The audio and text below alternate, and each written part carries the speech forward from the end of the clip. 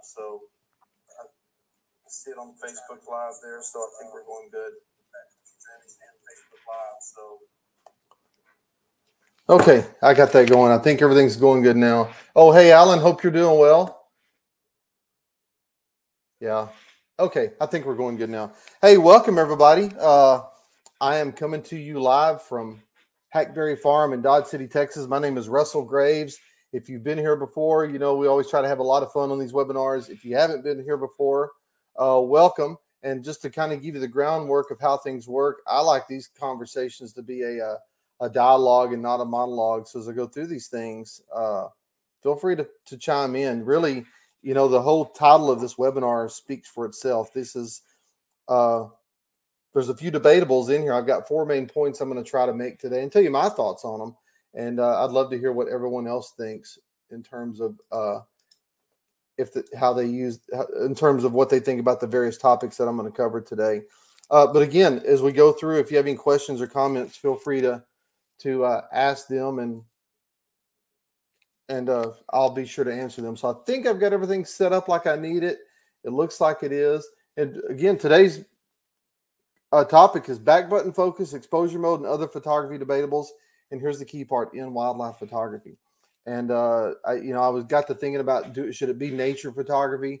But I think in this instance, especially something like back button focus, really only applies to to uh, wildlife photography. So I kind of limited the things we're going to talk about around the wildlife photography genre. But some of the lessons I'm going to talk about today can also be extended to, you know, macro photography or nature photography or any other kind of uh, discipline within the or what landscape photography and any other kind of discipline within the nature photography realm. So uh, I would be uh, pretty excited to hear what you guys think and what, about what I have to say today. And again, this is all in, in good fun and good spirit. I'm not anything I say today. I'm not trying to demean anybody because I think if you've heard me say it before, photography is supposed to be fun.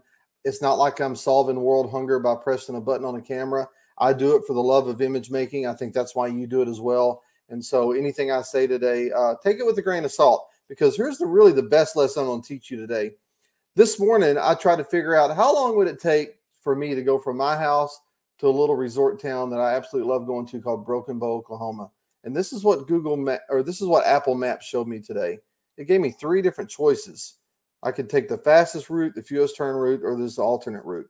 And it doesn't matter if I'm trying to get there fastest or not. It's just showing me that. But here's the key part and how this applies to photography.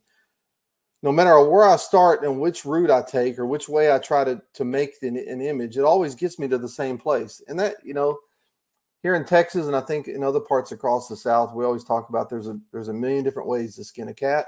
Or in photography, it's the same thing. I can talk about what I like to do, and it may be relevant for me, but it's relevant for me. It may not be relevant for you. But if you're kind of on the fence and you're learning like a lot of people, uh, sometimes they like to hear someone's opinion about how they do things and why they do things, and uh, and and clearly articulate why they pick a certain uh, priority mode that they use or whether they use back button focus or not, or some of the other things we'll talk about today. Uh, sometimes they like to hear that. So that's what this is given in the spirit of. I'm not again not trying to to criticize anyone for the choices they make because like this map shows, if we're trying to get to Broken Bow, Oklahoma, or Broken Bow, Oklahoma represents a a uh, a well exposed in focus picture, there's multiple ways to get there. So that's in the spirit of that. That's that's where I'll start. So I'm going to start with the first one. And this is a question I get a lot, especially out in the field. Are tripods in wildlife photography outdated? Because we've got all this technology built into cameras. We've got in lens stabilization, which has been around for quite a while now. I'm trying to think when I first saw in lens stabilization come around. I, I, know it's been around for at least 20 years, uh, or at least I think it's been around for at least 20 years, 15 to 20 years that that technology has been around, where you can, where the image has the uh, motors inside that help, or where the lens has the motors inside that help stabilize the image. And uh, it, you know, at first it was a it was a real big breakthrough because it would help you handhold a can a, a, a lens and body combination two to three stops lower than what you normally could. You know, the old rule in photography, and we talked about this last week on our trip to the Smoky Mountain. The old rule in photography is that you should never handhold or say you should never handhold below what your lens size is should match the closest shutter speed you can. So in other words, if you're using a 500 millimeter lens, I should never try to handhold that lens anything less than one five hundredth of a second. If you're shooting a 100 millimeter lens, one one twenty fifth of a second is the lowest shutter speed you can safely handhold that. And uh, in-body stabilization changed that a little bit, but that's still a pretty good rule to go by. So begs the question: Are tripods? Oh, and, and the second thing with in-body stabilization now uh, they offer three to five stops more stabilization. So with the right lens and and uh, and camera combination, you can get as many from five as many as five to eight stops slower shutter speeds theoretically that you, you can use and be able to handhold that.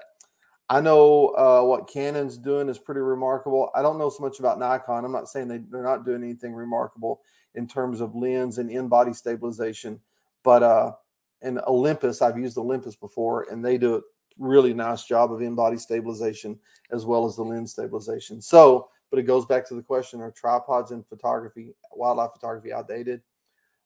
My response is, I don't think they are. I think that the using a tripod are one of those fundamental things that when you're learning photography, if you use it and use it all the time, it's going to make a big difference in how sharp your images are going to be. And I, I, I, hear people say a lot that, well, they're cumbersome to use, they're unwieldy, they take a while to set up. And all that's true. But if you just get in that muscle memory where you can you can get where you can set one up pretty quick.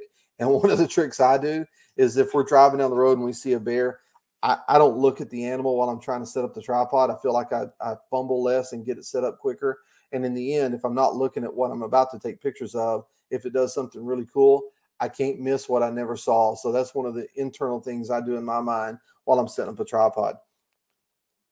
And so again, even in low light, because one of the things you can't control, even even though you got in-body stabilization, that's counting on you being really, really, really still. And for some of us, that's kind of hard to do, especially if you're holding a, a like I've got a 500 millimeter f4 lens. If you're holding a 500 millimeter f4 lens, that's a heavy, it's a pretty heavy beast and it's hard to handhold. So again, I'd always recommend using a tripod every chance you get.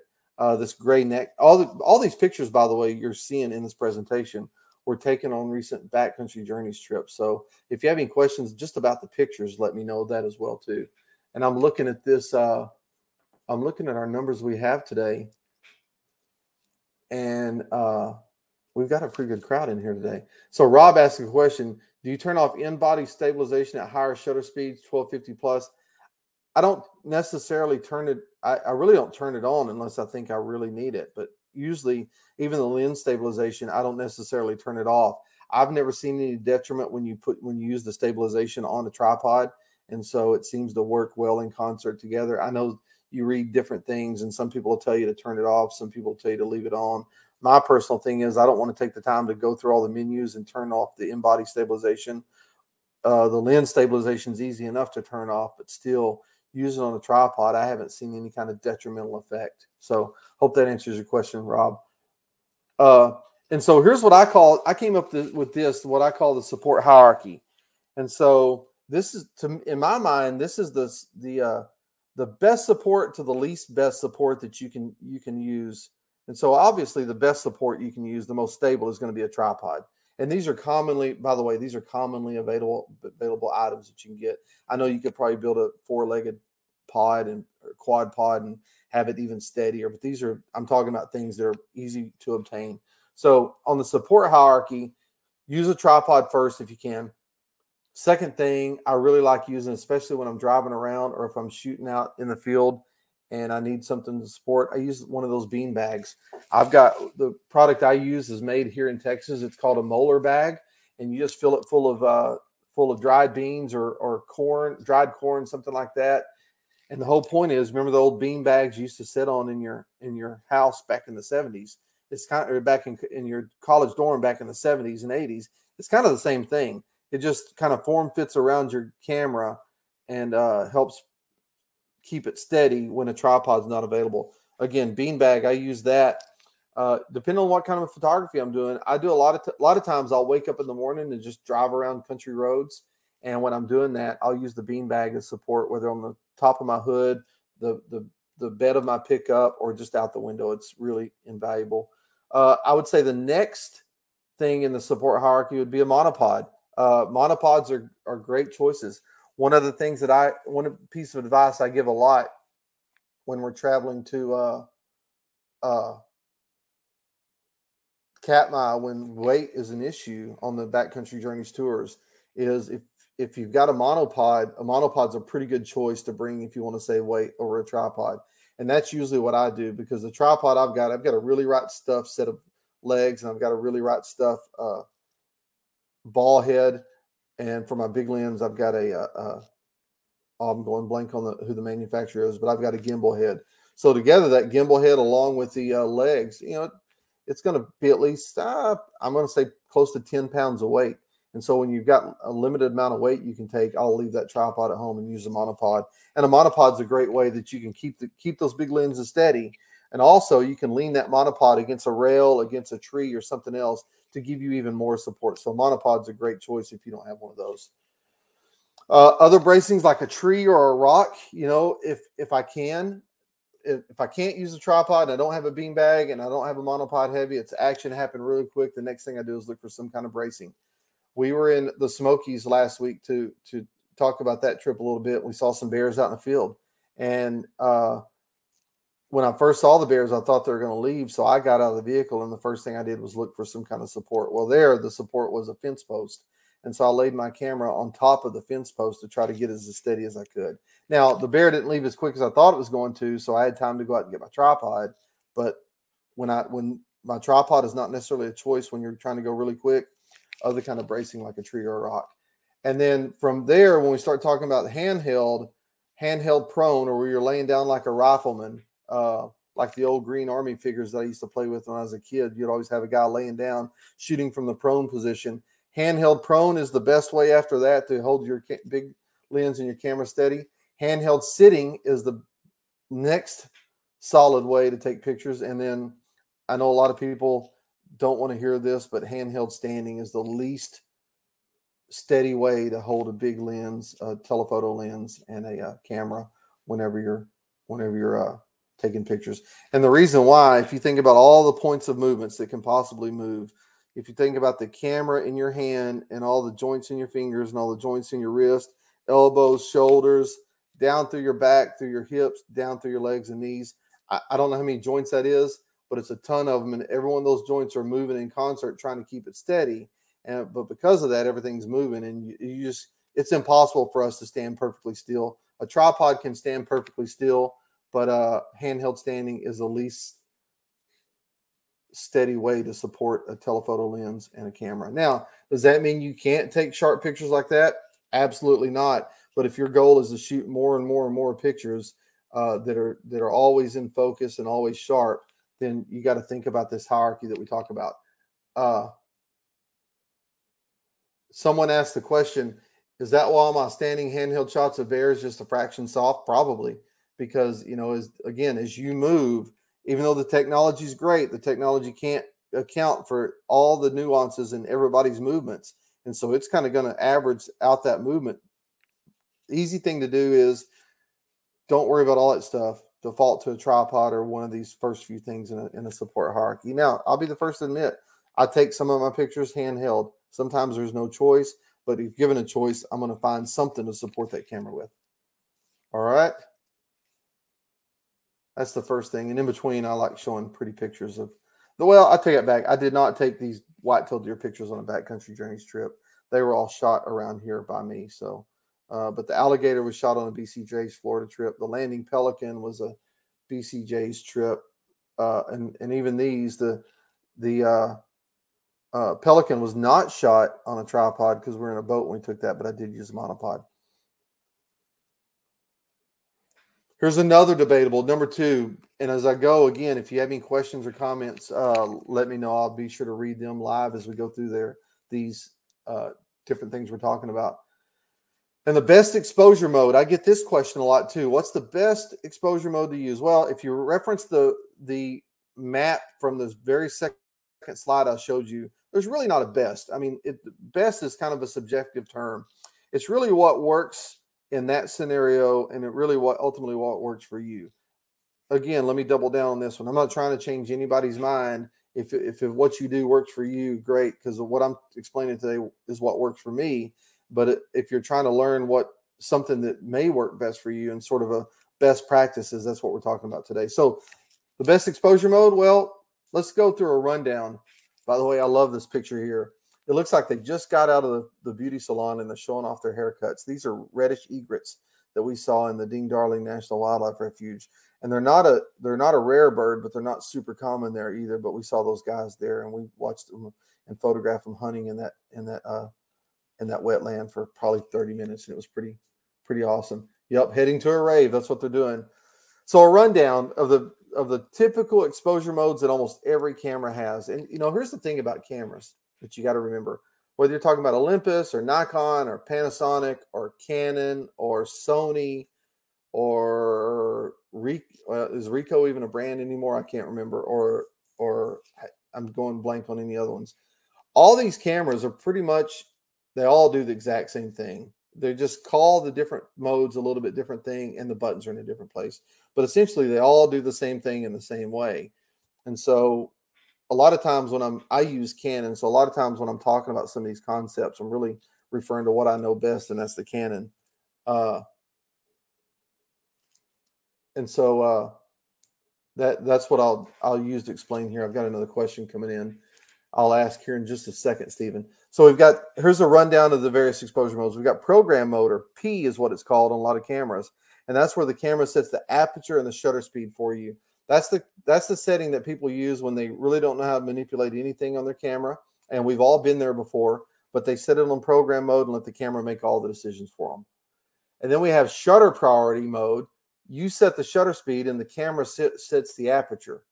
And so again, when you set on the shutter priority, you set the shutter speed, you dial in what shutter speed you want. The camera matches it with the aperture.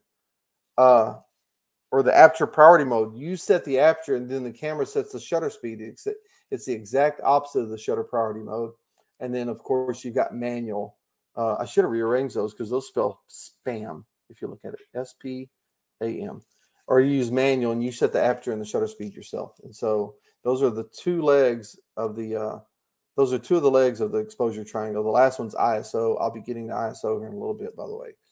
And before I go further, Stephen asked the question, uh, shutter speed not really important in handheld. Uh,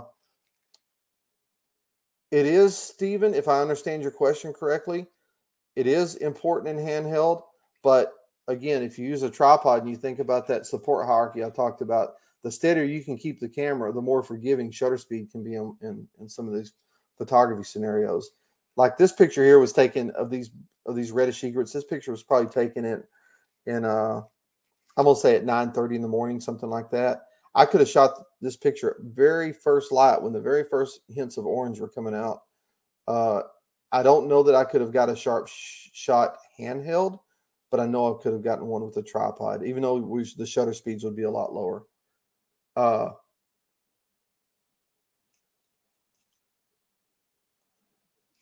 And then Kathy asked, recently I've been with guides that recommend auto ISO, pros and cons this. I'll be getting to that, Kathy, on the auto ISO here in just a second. So that's one of the debatables that we're going to talk about today. So if you'll bear with me, I'll, I'll get, get with you on that. And eh, just in speaking with ISO, you know, these cameras we use today have a capability of doing really, really high ISOs, but from a from a photography fundamental standpoint, they still perform best at low ISOs. And so even though you could outrun the shut. If you're trying to do handheld, you could jack the the uh, the ISO way up to you know ten thousand or, or twelve thousand five hundred or wherever, and be able to have a really fast shutter speed in the lowest light of conditions. But your image quality will will suffer because even some of these newer cameras like my Canon R5 at 3200 ISO, you still see a lot of noise in the image, and uh, and so I try to limit my ISO to sweet spots between four and 800 is what I try to limit it between. I think it the camera performs best and the image quality is best in that range. And uh, it's a good trade off between maybe a little bit of noise, but you can still get a high enough shutter speed. But again, uh, if you if you just try to eliminate handheld whenever possible and use some kind of support, your images will be better and you can shoot at lower and lower shutter speeds at lower ISOs. let me make sure. Okay. Just a few more pictures. Uh, well, here's an example that blue wing teal that's preening itself in the upper right of the picture. I that was shot at a at like first light in the morning, and it was really a backlit image, and it was in a dark area, and I I couldn't have got that picture handheld, and so I used the tripod to be able to shoot at a pretty low shutter speed. And again, you can get by with lower shutter speeds even with action that uh that and still get sharp images. And then that's my yard coyote. My house was the blind when I shot that picture of the coyote. I was at my front door with the door open, laying on the ground when I shot that picture. And then those are frigate birds on the on the left. Uh, those are frigate birds on the left. You see, I just got a response in that said no sound. So if that's a, if anyone else hears that, let me know. As far as I know, people are hearing me. It looks like everything's working on my end. So just uh, let me know if that's an issue.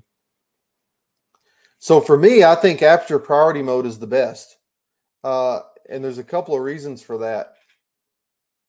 Well, before I took, well, here's one reason. In wildlife photography, in my opinion, backgrounds are really, really critical. So you always want a good creamy background so that animal, uh, uh, that, so the animal stands off the page. And you can look at, if I go back, well, those aren't good examples. I'll show you some better examples in a minute. Okay, I'm getting reports that people can hear me. So uh, if you're having problems with that, I don't see that question now. I'm not sure who wrote it, but uh, okay, I'll just continue if everyone can hear me. So in wildlife photography, the and I talk about this a lot in, in past webinars as well as when we do some in-class stuff on backcountry journeys, uh, photo tours.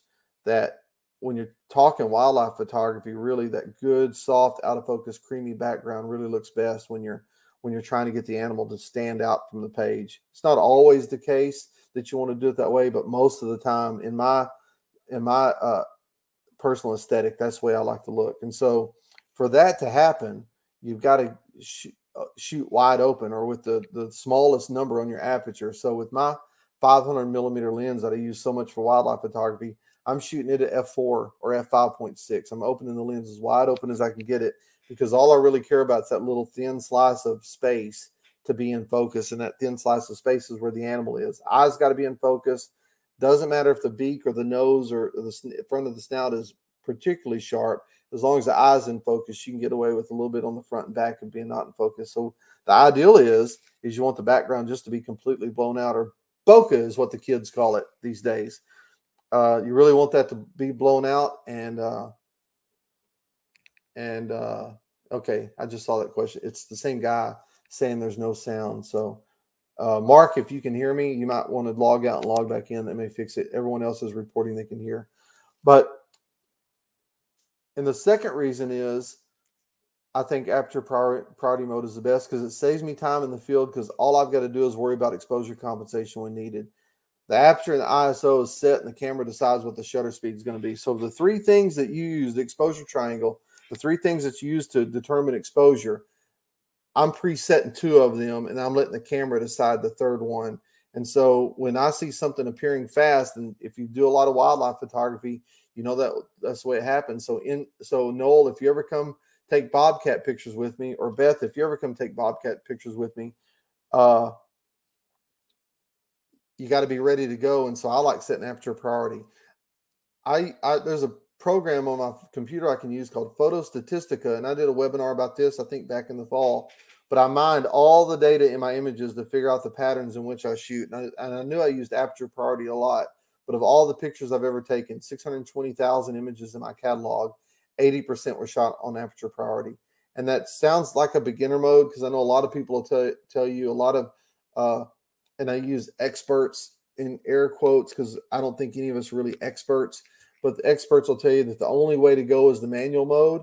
And manual mode's good to know, but once you know it, if you're looking for speed and looking to save time, I think aperture priority is the best way to go. Because again, I determine what the aperture is, I determine what the ISO is, and then the camera decides what the shutter speed is going to be. And all I've got to do is uh, is is just decide on what the uh, exposure compensation is going to be. And then we got Got a few comments here. Bob says he thinks the mode depends on what shooting on what you're shooting birds in flight, animals moving using shutter priority, birds at rest, etc. Use aperture priority. And this is why we call it debatable, Mark, because that is debatable. Or Bob, I'm sorry, that is debatable. I, I think if if you use good fundamental tech, uh, fundamental practices like using a tripod or using support, aperture priority, it for me works best all the time. Just because, uh, in the end, it really matters to me what the background looks like, and it matters to me all the time. Uh, and uh, just to, if you don't know, if you haven't heard me talk about this, one of the things that drives my aesthetic is I shoot an awful lot of pictures for magazines. Uh, and one of the things I'm always trying to do is get on every picture I take of wildlife is get the background out of focus. So that way the designers have a good, clean place where they can lay text. And so that's kind of what drives that out of focus mentality for me. And I'm always thinking about that. So for me, I can shoot of all the pictures I took, I, mentioned, I mentioned 80% were shot in aperture priority. For me, I think that number is like 2% I've ever shot, shot in shutter priority. So my point is it'll all get to the same place. It's whatever works best for you, but I appreciate that comment, Bob. Uh, Steve says, do you prefer aperture priority for landscapes or manual given the difference? You know, if I use manual more than anything on any kind of photography, it's usually on landscape photography because you have time to set up and, and really dial in, things in for the best sort of look. Use the tools your camera gives you, like depth of field preview and all those other things. So uh, since since landscape photography is a little bit slower discipline, I, I do use manual more often than not on that kind of photography. Uh, and Linda says if you're shooting more than one animal, sometimes it's better to have a bit more depth of field so both are sharp. Don't disagree with that, Linda. One of the things I would add to that as well is uh, is a lot of times what I try to do, and this is again a personal aesthetic, is I try to lim I try to find the best angle to be able to isolate one animal from the group as far as shooting instead of shooting a group of animal. But you're exactly right on that. Uh, Jeff says underwater manual is best due to strobe flash. Yeah, underwater is a little bit different on that. Not you know everything I'm talking about. Even though I've got a picture of a manatee, this is actually shot on on a on aperture priority just because the the animal's barely underwater. Uh, but yeah, you're exactly right on because you're using a strobe output and the light source is constant. Manual is better to use underwater. And that's uh, one of the roseate spoonbill that we saw in the Everglades. Those are beautiful birds. Okay, so I think it was Kathy that asked about auto ISO before. Should you use it? And if you don't know, auto ISO is a setting where the camera you can set the aperture, say, for example, in manual, you can set the aperture and the shutter speed, and the camera will fluctuate the ISO based on the best settings for you. I'm not a fan of auto ISO. And the reason why is I know you can limit it to how high or how low it'll go. You can limit these cameras to how high or how low they'll go.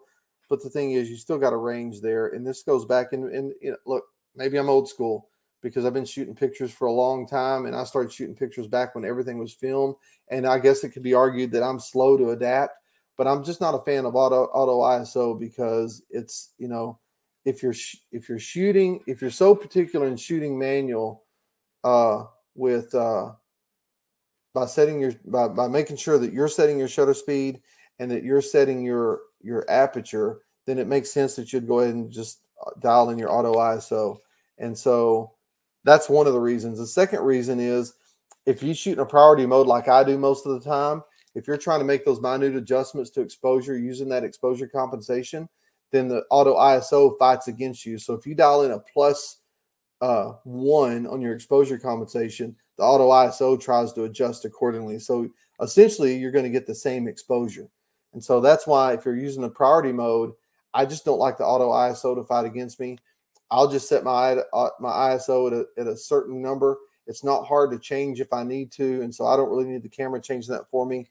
Again, when I shoot auto ISO, I mean I shoot a static ISO, a static aperture, and then the, the thing that's the most dynamic that moves around is the shutter speed.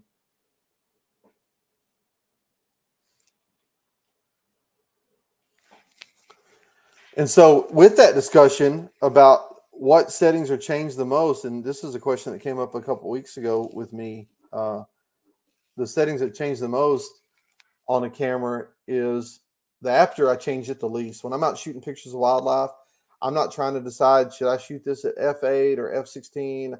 I'm probably always going to shoot at f4 or at 5.6. So the aperture is the setting that's going to change the least for me. The second setting that's going to change the least is going to be the ISO. Uh, and I see some new questions coming in, so I'll I'll answer those in just a second. So the second cha- setting that changes least for me is ISO. Like I mentioned, I'm pretty happy with where my cameras perform between four and 800. So my app, my my uh, ISO is usually set at 400, just kind of my default. And if it gets lower and lower light, I may go to 640, 800. And I, I will shoot at a thousand ISO because the cameras are getting better, can handle that. But I try to keep it within that sweet spot all the time. And then the next thing that changes the most because I do shoot on aperture priority mode so much is the exposure compensation. And if you don't understand what exposure compensation is, if you it's that plus and minus dial that's up by the shutter button on Nikon's Canon, you just roll the wheel on the back and it'll move the move the uh, exposure compensation to the plus or minus. If you're using a uh, a priority mode, if you're using manual, you can do your own exposure compensation just by dialing in manual. And the reason for that is the cameras can't always get exposures right when you're in the field, particularly if you have a dark background or a light background. And I always use snow as an example. Everyone among us that shot pictures in the snow has taken pictures and the snow looks gray or muddy after you take the picture. It's not as white as you see it. And the reason for that is the camera can't meter that correctly, that bright scene. It just tries to push everything, you know, in the histogram towards the middle. And so you use exposure compensation to overcome that. I've got a whole other webinar that I've done in the past. If you want to look that up about how exposure compensation works, uh, and then I may be doing that one again in the future on how exposure compensation works. But that's that's almost a webinar in itself on how to how that works and how to how to compensate for different uh, scenarios that you may see in the field. And then the thing that changes the most is the shutter speed because again, I shoot on aperture priority. I set my aperture static. I set the ISO mostly static. I may fiddle with the exposure compensation, and then the shutter speed is the thing that changes the most. So I, before I go to the next slide, I'll answer a few questions here. Let me see. Do you have an exposure mode preference if you're shooting a focus stack series of wildlife? Mark, I've never shot a focus stack series of wildlife, so I'm going to give you my email at the end of the this presentation. And if you've done that before, I'd love to see what you're doing and uh, love to learn a little bit of something from you. So I appreciate that. I've just never done it before, so I don't really have a good answer for that one. There's that reddish egret hunting. The, what they'll do is they'll run around in the water and kind of flap their wings and, and create shade so they can it cuts the glare down off the water so they can see in it better.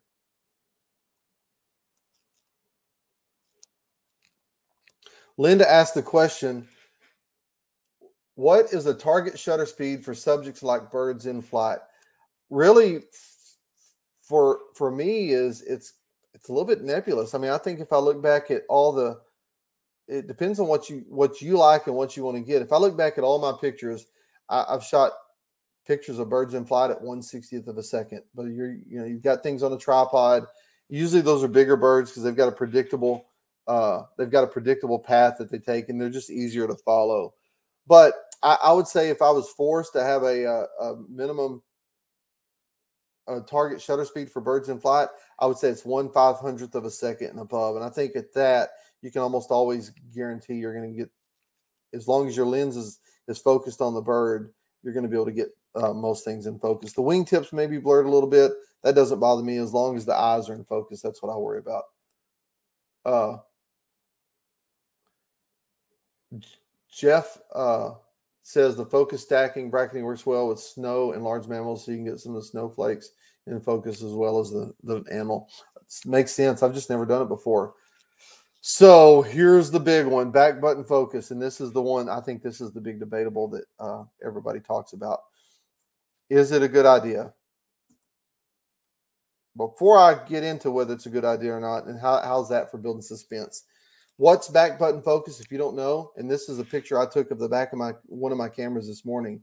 On this is a Canon R5, but you can see that AF on.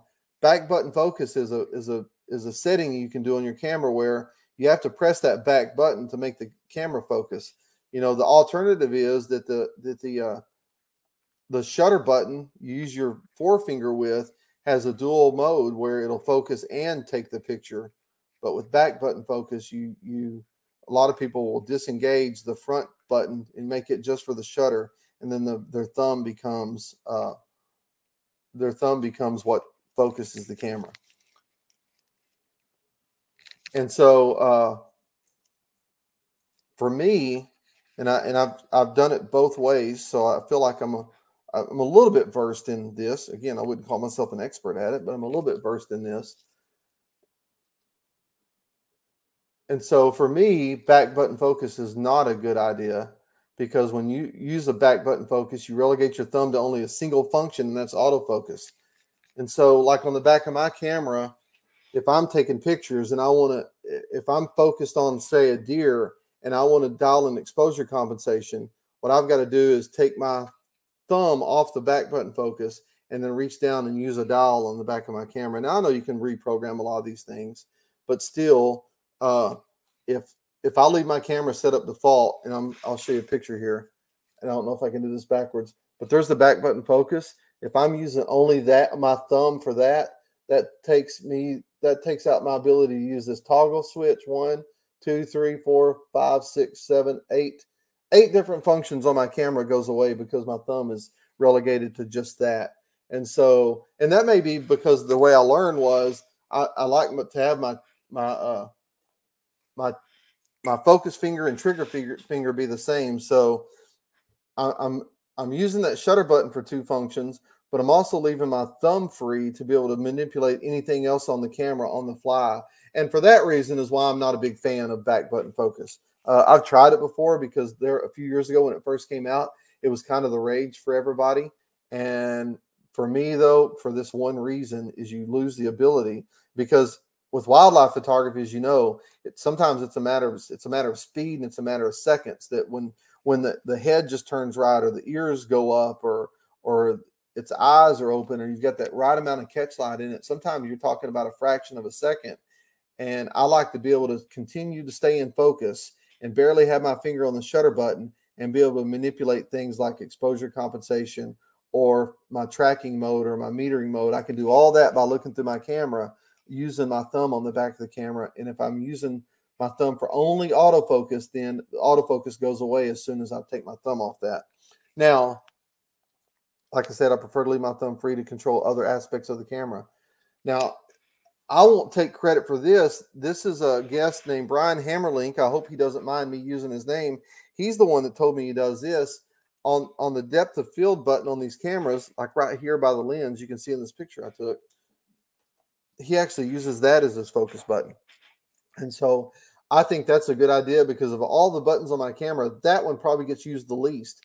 And so if I was going to try to be convinced to use a button other than my shutter button for focus, I think it would be that one right there. Now, I say all that with uh, you know, again, not trying to I you know, everything that that everything that that's debatable in this presentation I've talked about today is all debatable debatable from my point of view.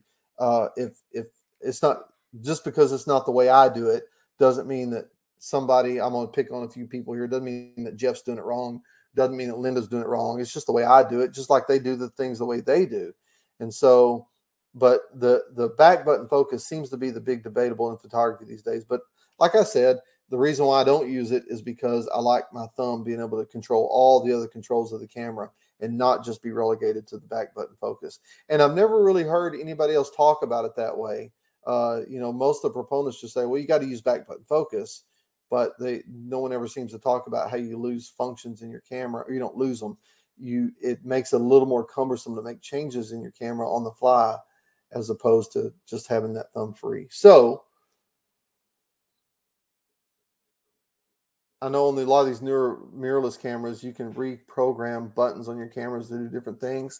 I'm not sure about all the DSLRs, and I'm not sure if all, they'll all do that. But I know on my Canon R5, you can reprogram that button to change it from the depth of field to make it the lens focus. Because again, for me, this is for me. That's the least used button on my camera. I will in landscape photography. I will use it from time to time, but in wildlife photography, I never use that. So, uh, the so got a couple of comments coming in. I like back button focus if you want to focus and recompose. Co- recompose. Do you half press and recompose? Uh, if okay, I think I understand your question, Bob. You, you might want to you might want to clarify uh, that a little bit. But if I understand correctly, if you're using front button focus, do you half press and recompose?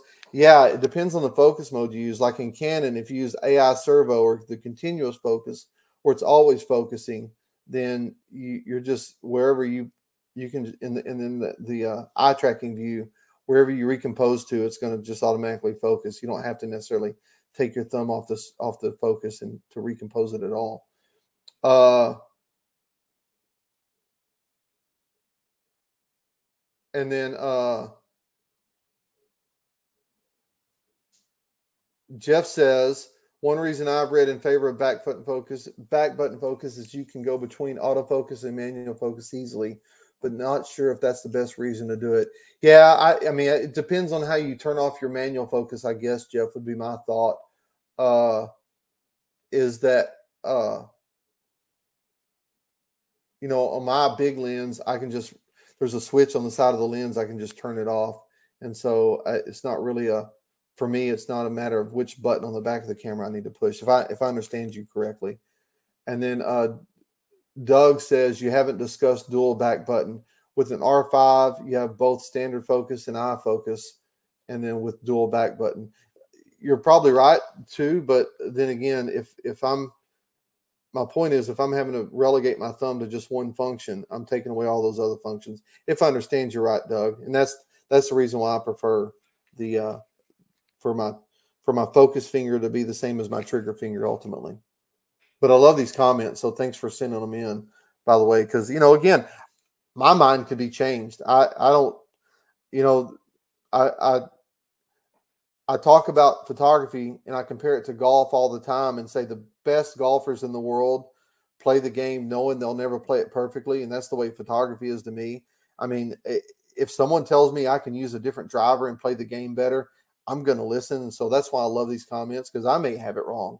And so that's why all these things are debatable. There's not hard and fast rules on, on how you should do things. And that's why I like hearing everybody's comments because I may be doing it wrong. I've learned things along the way from other people, uh, either before I started doing some tours with backcountry journeys and even after, you know, because we're all, if you, if you think you're done learning this game, you, then uh, you probably need to find another hobby because there's always something to learn this this picture of this anhinga, that's what I'm talking about. That really out of focus background from uh, with aperture priority. I know I can guarantee that kind of background every single time, and that's why I love that that mode.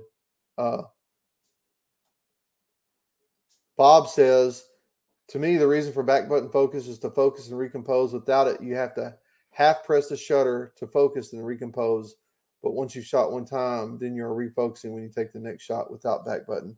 Yeah, and if you're if you're using the single point focus mode, Bob, I, I agree with you on that. That is a good reason to use back button focus because you can you can just lock it down and then recompose. But with these newer cameras, in my mind, with these newer cameras, because they do have eye tracking and they do have continuous focus, there's really no there's never any need to recompose necessarily.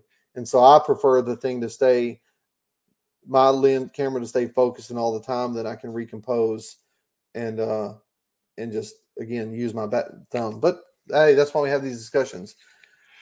Noel says he uses three buttons for focus, single point, one for single point, two for group, three for dynamic. It's quick select the one I need, and uh Nikon. Uh, he uses Nikon. He says that works for him. See, Noel, the reason why it works for you is you're a lot smarter than I am.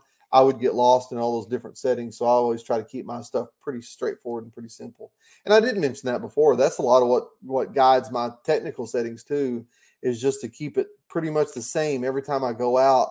So that way I'm not having to reset my camera every time from a different shoot that I did and really try to keep it straightforward. So when the wildlife does show up, I can react a whole lot quicker instead of having to, you know, and I, I screwed up last week. I had my camera set a different way trying to show someone something. I forgot to reset it. And then when the action happened, I missed some shots and, uh, and until I figured out what was going on. And I just needed to reset my camera. So yeah. And then a great discussion though. That's why we talk about this stuff is just to figure out what everybody else is doing and why it works for you. So we've got about 13 minutes till the end of the hour. I'm going to open this up for more questions if anybody has any questions about any of the pictures I took, anything I talked about today. What do you think another debatable is that maybe I didn't cover that we should include in this? And uh and uh let's let's just talk about it. So here we go. So, okay, so Beth says eye track does not always focus on the right thing. I need both spot and eye track. How do you switch fast with just the shutter button for focus? Uh, on so Beth, I know what camera you use. On mine, I can hit the while I'm looking through the viewfinder, I can hit the Q button and then use the toggle switch to change it off from eye tracking to another mode of focusing. And that's what I do. Uh, and so if that doesn't make sense, just contact me with an email afterwards, and uh, we can jump on a Zoom and I can help you out with that. But again, that's if while I'm looking through the viewfinder on my R5, if I hit the Q button, all those different things I can change on the fly come up, and then I can just adjust the setting right then.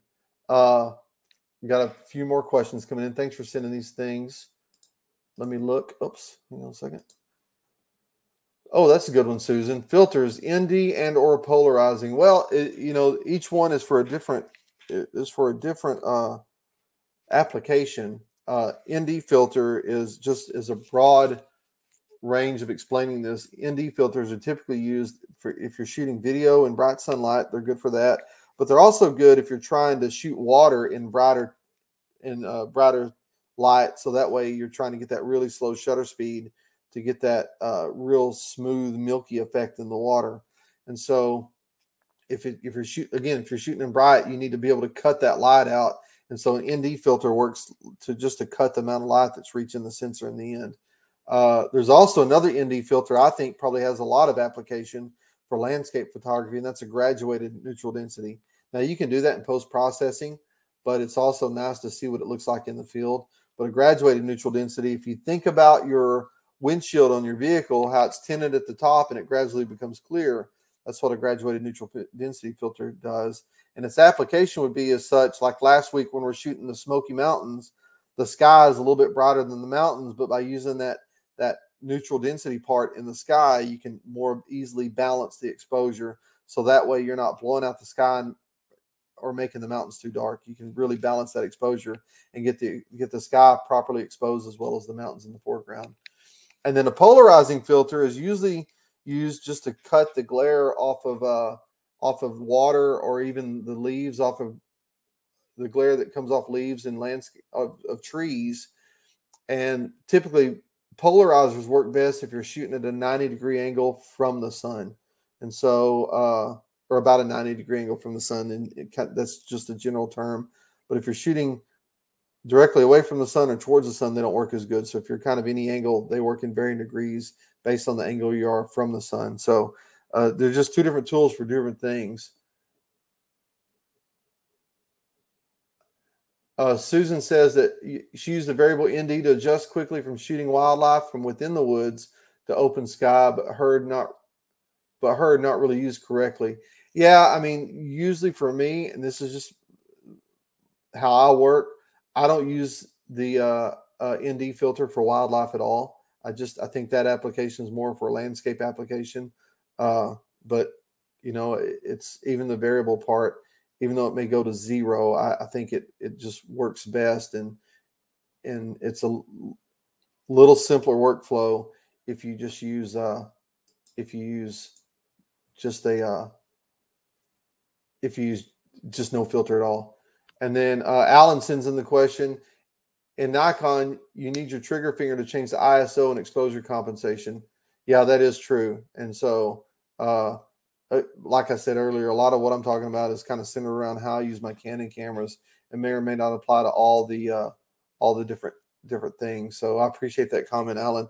And I don't I don't know if in the newer Nikon's the the like the Z7 or the Z9 if you can change. I haven't used them uh, enough to know if you can change the reprogram the buttons to do exposure compensation somewhere else. But yeah, like you say on the on the Nikon, that plus minus sign for exposure compensation is up by your finger, so you, you have to take it. So in that case, back button focus probably would be a better solution for how you use your camera. Uh, Izzy says we got a lot of good questions coming in. Izzy says primarily a landscape photographer and exclusively use the back button focus. I'm curious, how does it work with continuous focus in sports and wildlife? If you're talking about back button focus, it'll it'll work the same uh, in continuous focus in sports and wildlife. And then Linda says, do you use histogram for exposure compensation? Not really, uh, because that histogram in a lot of outdoor scenarios will lie to you. A lot of what I do is by experience. I just know that if it's uh, if it's a dark background, the camera is going to tend to overexpose the image, and so I've just got to, I've got to, if since it's overexposing it, it's putting too much light on the sensor. I need to take light away, so I'm on a minus exposure compensation. And then if it's if the if it's a bright background like snow, it's the camera is going to tend to underexpose it. And so since it's underexposed, it's too dark. I need to add light or a plus exposure compensation, and that's usually way I think about it. But that becomes muscle memory after time, so I really don't use the. I mean, I bet I, this is no lie. I bet I use a histogram less than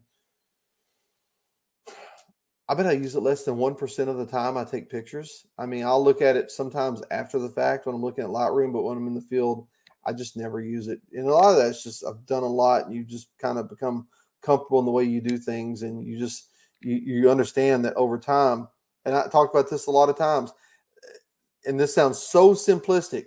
In every case, the camera is going to do one of three things when it comes to exposure. It's either going to get the exposure right, it's going to overexpose or underexpose can't do anything else. One of those three things is going to do almost, or it's going to do that every single time. I'll say it again get the exposure right, overexpose or underexpose. And so the more you can build in your mind those scenarios that the camera is going to get it right, or if it's going to underexpose it, like I said in the case of uh, snow, or if it's going to overexpose it in the case of a dark, shadowy background, if you know that ahead of time, you can kind of predict how much exposure compensation you're going to need. And usually it doesn't. You know, I talked about that earlier, and this was part of a webinar I did earlier too. I talked about that photo statistica, and I learned that of the 640,000 images I've ever taken, about 80,000 of them were were shot using exposure compensation.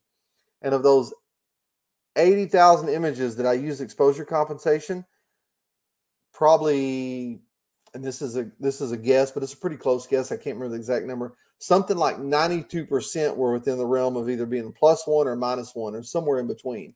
So, in other words, even though your camera will show a plus two or plus three or a minus two and a minus three on exposure compensation, very rarely in my experience have I seen where you need to go outside of a plus or a minus one. So, and then knowing all those things in my head, it's just, you know, we go back to that map I showed. That's that's how I calculate my best route from point A to point B.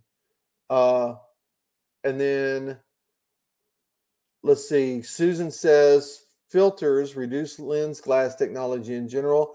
I I think they can. I mean, even though you can buy the best quality filters, I think anytime you put something in front of the native glass that comes with that lens, we may not be able to perceive it, but it's going to degrade that image to some degree. It's it's it has to. And so uh I you know, and the question becomes, can you perceive how much it degrades the image or not? I'm sure somebody can measure that but for all practical purposes, the purposes that most of us are going to use our pictures for, you probably can't tell the difference, is my guess. Uh, let me look. Thank you, Jeff. I appreciate it. And then Izzy says graduated ND filter is okay if a straight horizon, correct? Yeah, but if trees or branches are in the sky area, it'd also be darkened. Exactly right, Izzy. Uh, Mark says, do you have a metering mode you prefer for wildlife? uh, spot center weighted, etc. In Canon, it's kind of a center weighted mode called evaluative metering, and that's the metering mode I use the most. Uh, I think it, you know, it, and again, it goes back to my simplistic workflow of always being ready to take pictures. And I'm telling you, when I'm at home, I've got a, my a camera on my 500 millimeter lens, and it's set ready to go because I live out in the country, and so there's never know when you look outside what you're going to see. Saw a bobcat yesterday, didn't take a picture of it, but I saw it he was a little bit too far away, but you never know what you're going to see out here. So I'm always having everything ready. So in the interest of of streamlining my workflow and always knowing it's on the ready, I've just adopted that I'm always going to have my my metering set the same way to evaluative metering, and I understand how the camera is going to either get it right or get it wrong on that metering. Uh, and so I, I know by what I said, uh, the what I just said previously in terms of exposure compensation, I'm always going to have my metering set. I'm always going to have my ISO set right. I'm always going to have my aperture set right. And so really all I've got to do is if I see, if I look outside right now, I'm staring outside to my side yard. If I look outside right now and I see a big white-tailed buck standing out there, all I've got to do is turn my camera on and it's ready to roll. I'm not having to unthink what I've done in the past because every time I give myself the chance to try something, a new setting or new technique I'm not used to, I always end up screwing something up right after that. So and again, this is all in the in the context of wildlife photography because those things happen so fast. Now, a lot of these things are give and take if you're talking about other genres of nature photography, but wildlife photography, where seconds really do matter, I'm just trying to figure out a way to get from point A to point B the absolute quickest I can to ultimately be able to get the shot. Uh, Linda says thoughts on lens hood. And Doug, I see your question. It's coming up. My thoughts on lens hoods are they're too dadgum expensive. That's what I think. Uh, I think lens hoods are valuable to use. I know they do take up space, but the lens hood is going to do a couple of key things for you. Number one, it's well, three key things for you actually. And uh, let me, I'm going to slide off here right quick and grab a lens.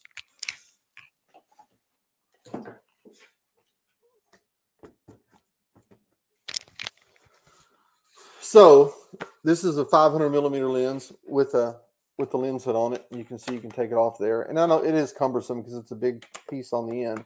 And I say they're too dadgum expensive because I think if I had to go buy one of these new, I think they're about $600 for just the lens hood. But here's the one thing it does. Number one, if you're carrying this thing through the brush and limbs are kind of slapping against it, you're protecting your glass from being able to get scratched up and stuff. So they're they're valuable in that.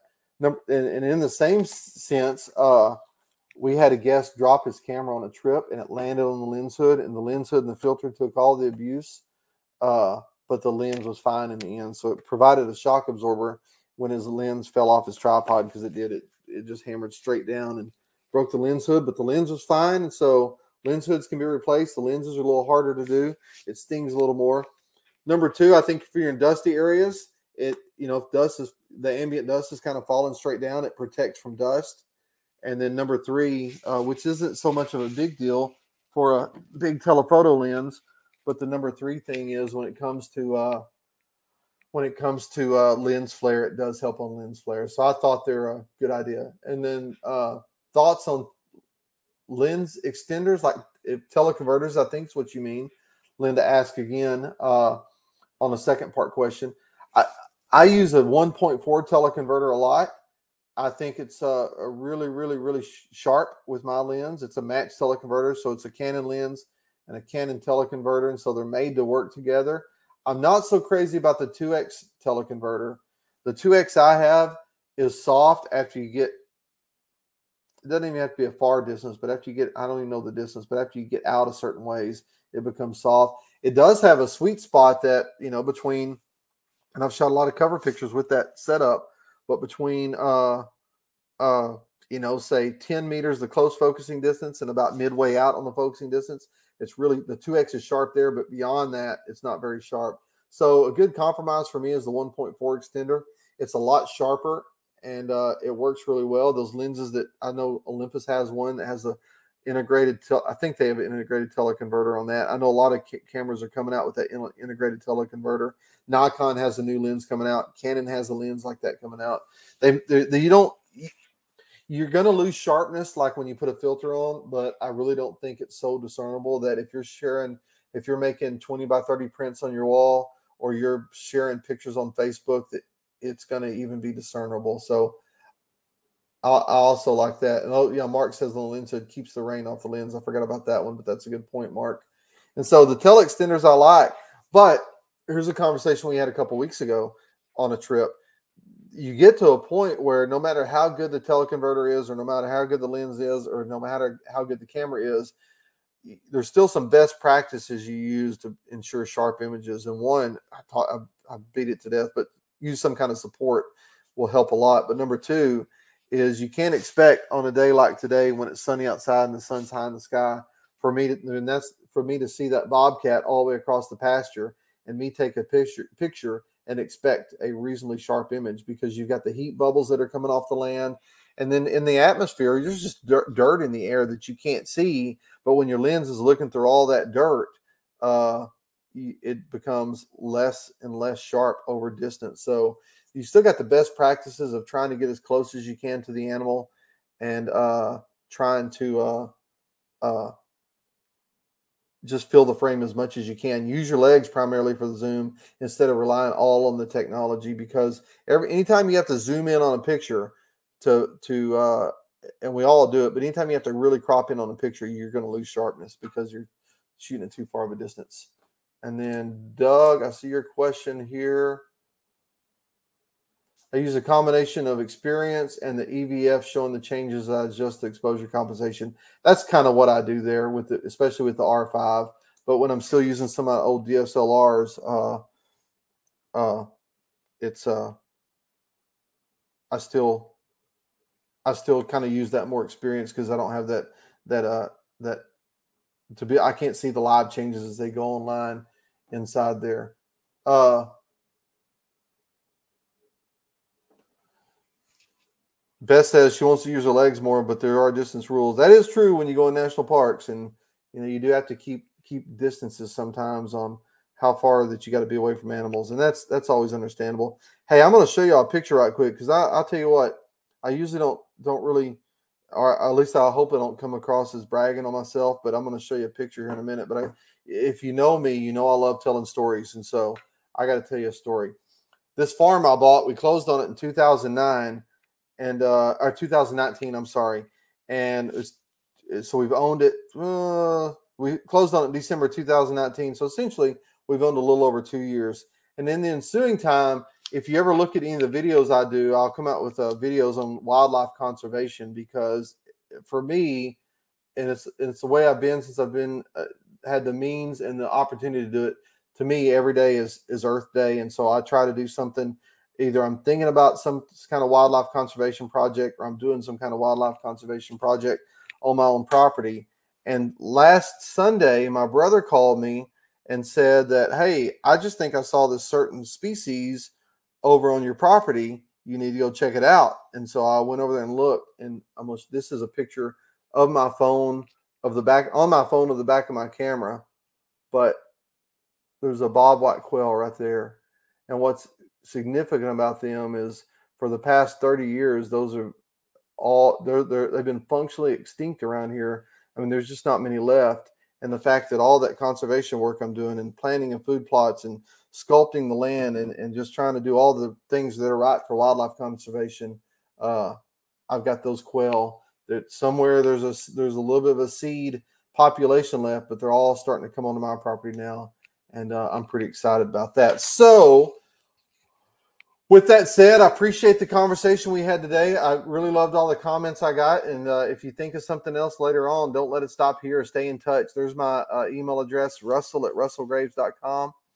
And as anybody can tell you, uh, I almost always, uh, or as anybody can tell you, I may not be able to do it right away, but I always respond to emails when you send them. And every now and then, I will, uh, I'll give you a call back if it seems, or a Zoom meeting back if that seems to be the best way to do it. So my point is, my door is an open door, and uh, if you need anything, p- please feel free to stay in touch. I got a few comments coming in. Thanks, Linda, for your comments. Thanks, Beth, Alan. Appreciate that. Always good to see you when we go out. And uh, Noel, same, same to you. It's always good to see you guys when, whenever we get to go out in the field together. So, uh, yeah, if you need anything else, just feel free to reach out. I appreciate everyone's time today and uh, take care.